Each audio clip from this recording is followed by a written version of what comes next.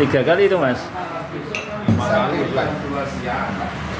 Mantap sekali ini teh tarik mie Aceh dari Jalan Godean.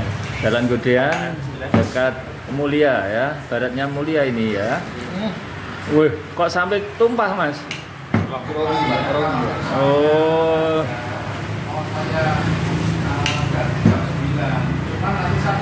nggak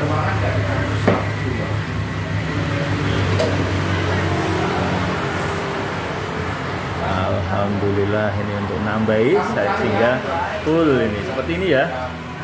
Oke, selamat menikmati ayo kopi tarik bayi mie Aceh maneh ya seperti ini.